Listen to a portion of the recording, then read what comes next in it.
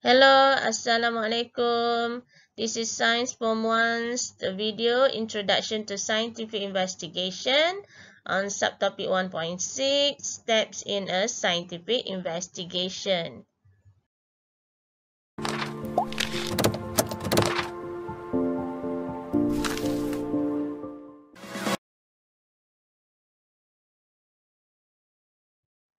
Okay, you have learned in primary school science process skill. So science process skills include observing, classify, classifying, measuring and using numbers, making inference, predicting and communicating. Using time-space relationship, interpreting data, defined operationally, uh, controlling variable, making a hypothesis, and experimenting. Okay, scientific method is a systematic method used to solve problems in science. This method consists of a few important steps to enable a problem to be solved or explained using a correct method. Okay, so steps in uh, scientific methods uh, identify the problem, construct hypotheses, control variables, plan the experiment, conduct the experiment, collect data, analyze and interpret data, make a conclusion, and finally you write a report.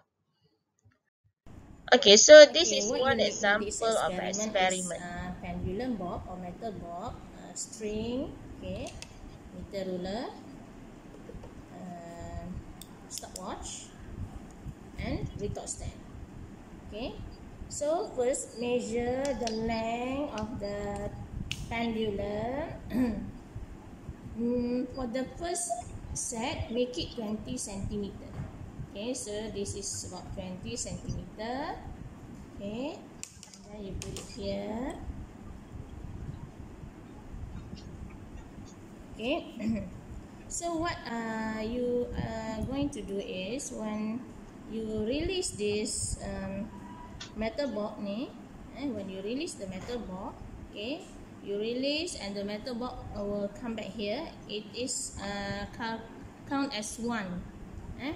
from here to here to here this is one uh, swing one complete swing uh, one complete oscillation okay. So when you release immediately start the stopwatch Okay, so you take the reading of stopwatch for 10 uh, complete oscillation, 10 complete swing.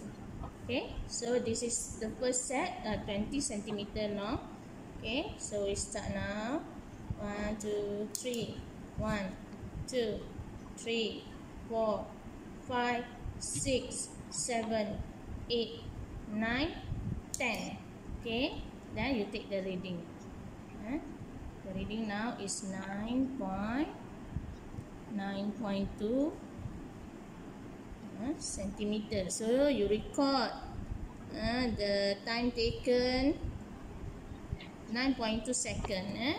Uh, the time taken for 10 complete swing. Okay, then you repeat the experiment. Okay, ready? One, two, three. One, two, three, four five, six, seven, eight, nine, ten. Okay. And then you record. It is 9.1 second. And repeat one more time. One, two, three, four, five, six, seven, eight, 9, 10. Okay. And record. And record. Huh? 9.3 seconds. Okay. And then next is you adjust the length. Okay. Make it 30 centimeter. Make it 30 centimeter. Just the length of the pendulum.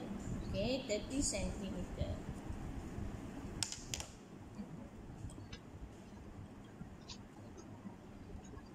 this is the T now. Okay, again, same thing. Huh? Record the time taken for 10 complete oscillation. So, we start now. 1, 2, 3, 4, 5, 6, 7, 8, 9, 10. Okay, 10 complete oscillation and the time taken is 11.2 then you record eh? and then again the second reading ready go one two three four five six, seven, eight, nine, and ten. And record. Okay. And you record. This ten. And again, one more time. One, two, three, four, five, six, seven, eight, nine, ten. Okay, this is 11 point.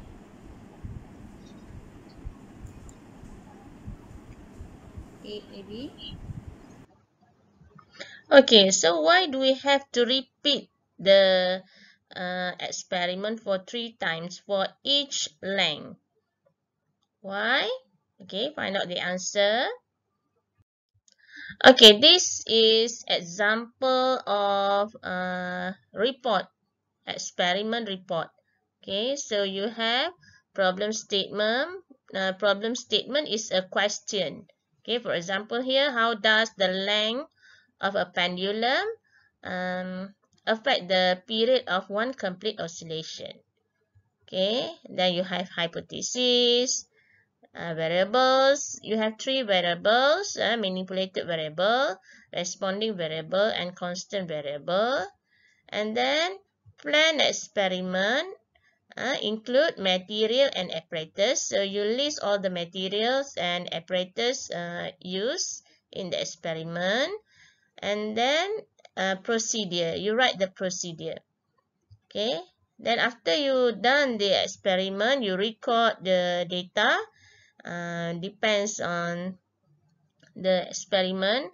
For this experiment, uh, you use table to record the data and then discussion. Uh, here we use uh, the time space relationship okay in discussion. Okay so that's all. Thank you for watching. Okay bye